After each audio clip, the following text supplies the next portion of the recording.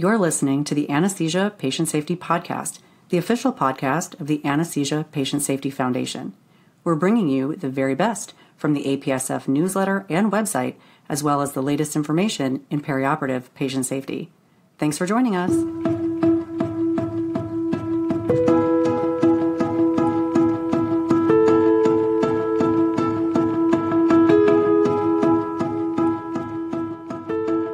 Hello, and welcome back to the Anesthesia Patient Safety Podcast. My name is Allie Bechtel, and I'm your host. Thank you for joining us for another show. Our topic today is helping to keep pediatric patients with sickle cell disease safe during anesthesia care. We must remain vigilant to help prevent postoperative complications. Plus, pediatric patients with sickle cell disease have a different perioperative risk profile from adults with sickle cell disease.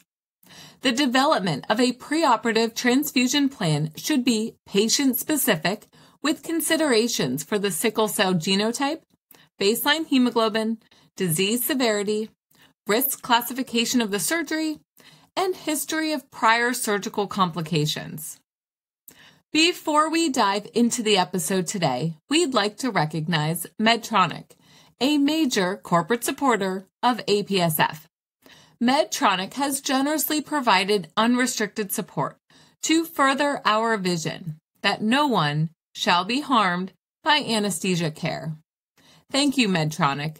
We wouldn't be able to do all that we do without you. Our featured article again today is from the June 2024 APSF newsletter. It is Preoperative Transfusion and Sickle Cell Disease in the Pediatric Patient by Rahul Baijal, Priti Dalal, and Megha Karkare-Kanjia. To follow along with us, head over to apsf.org and click on the newsletter heading. First one down is the current issue, and then scroll down until you get to our featured article today. I will include the link in the show notes as well. Last week, we reviewed sickle cell disease and did a literature review. Here are the highlights. Sickle cell disease occurs when there is a substitution of valine for glutamic acid on the beta chain of hemoglobin. Patients may be homozygous, heterozygous, or have an associated thalassemia. Patients with sickle cell disease are at risk for sickle cell crisis during surgery and anesthesia if homeostasis is not maintained during the perioperative period. Remember, the triggers include hypothermia, hypoxemia, hypovolemia, infection, acidosis, pain, and stress, which may occur during surgery and anesthesia care. Pediatric patients with sickle cell disease are at increased risk for postoperative complications, including acute chest syndrome with an incidence of about 3%, stroke 0.2%, and 30 day mortality at 0.2%. Interventions that can help prevent sickle cell crisis include intravenous hydration, thermoregulation, and adequate oxygenation. There is controversy over appropriate preoperative transfusion strategies for patients with sickle cell disease. Guidelines from the American Society of Hematology in 2020 suggest transfusion to a hemoglobin level of 9 or 10 grams per deciliter in all patients with sickle cell disease undergoing surgery with general anesthesia that lasts for more than one hour routine preoperative blood transfusion in children with sickle cell disease is not recommended. And that is where we are going to return to the article today. The authors highlight that the current literature on routine preoperative blood transfusion in children does not support this practice. This means that it is vital for an interdisciplinary team from anesthesiology, hematology, and surgery to work together to develop a patient specific plan for preoperative transfusion with consideration for the following the sickle cell disease genotype, the baseline hemoglobin, disease severity, risk classification of surgery, and history of prior surgical complications. Let's take a look at Table 1 from the article for an initial stepwise approach to the preoperative evaluation of a child with sickle cell disease. I will include this in the show notes as well. First, it is important to document baseline pulmonary status and risk for stroke, including the following considerations baseline SpO2, known baseline snoring or other obstructive sleep apnea manifestations. In patients with homozygous sickle cell or sickle cell beta thalassemia 0, transcranial Doppler results within the preceding 12 months, and additional evaluation with preoperative chest x ray in the setting of a new cough or lower respiratory symptoms, such as wheezing, rhonchi, and crackles since these findings may be concerning for acute chest syndrome and a delay for the surgery may be needed. The next preoperative step includes a laboratory assessment with the following complete blood count with reticulocyte count, ideally on the day of surgery or within 48 hours of the procedure. For patients requiring hemoglobin S less than 30%, Obtain hemoglobin profile within three days of surgery to get the baseline hemoglobin S percentage. You may also want to obtain a screening prothrombin time and partial thromboplastin time if there are any concerns for liver disease, history of clinically significant bleeding, or it is a high risk surgery. We are moving on to table two to help us make a decision for preoperative transfusion depending on the risk categorization based on the severity of sickle cell disease and type of surgery. Let's review risks for types of surgery. Low risk surgeries include the following magnetic resonance imaging or MRI, inguinal hernia repair, circumcision, myringotomy tubes, dental restorations. Moderate risk surgeries include the following tonsillectomy, cleft palate or cleft lip repair, laparoscopic procedures such as cholecystectomy, splenectomy, or appendectomy, and total hip replacement. High risk surgeries include the following intracranial, intrathoracic, and intraabdominal procedures, as well as major orthopedic and plastic surgery such as scoliosis repair or free flap reconstruction. The next step is to evaluate the sickle cell disease severity.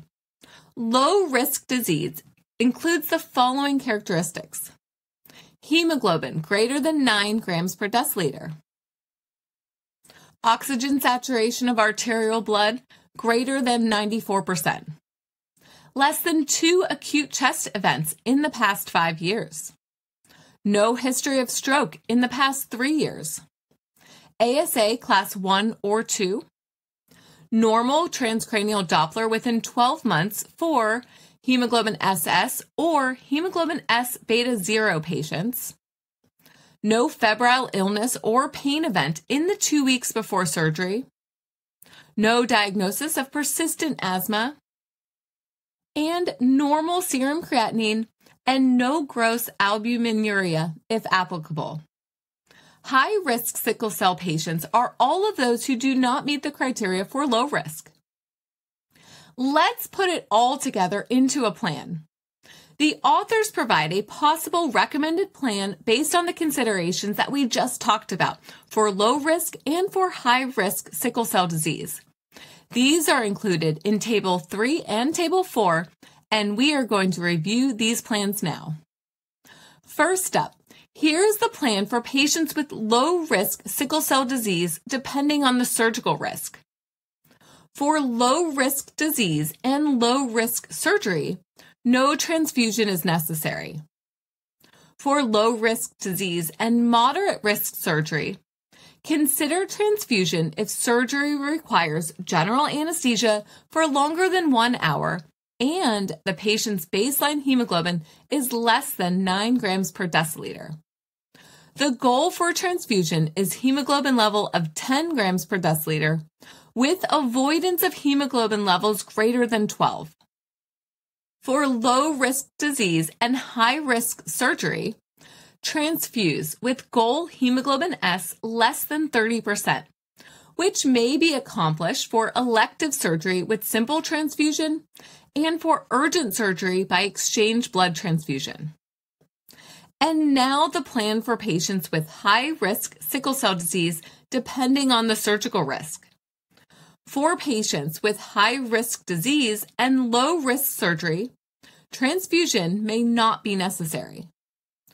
For high risk disease and moderate risk surgery, consider transfusion if the surgery will require general anesthesia for longer than one hour and the patient's baseline hemoglobin is less than 9 grams per deciliter.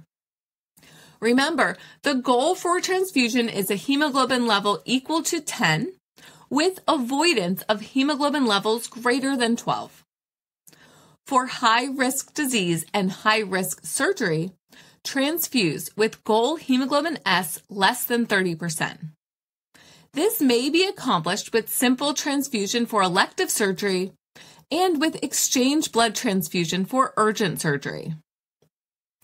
These tables are great resources for the preoperative evaluation and planning for pediatric patients with sickle cell disease.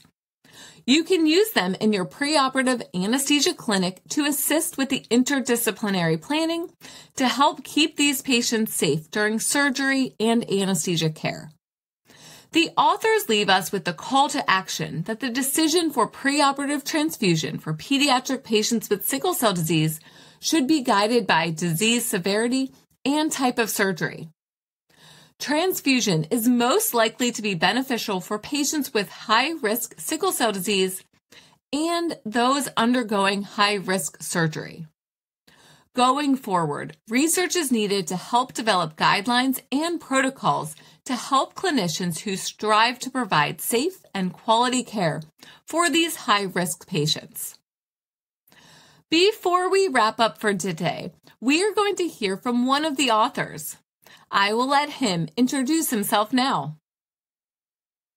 Hello, my name is Rahul Baijal, and I'm a pediatric anesthesiologist at Texas Children's Hospital in Houston, Texas.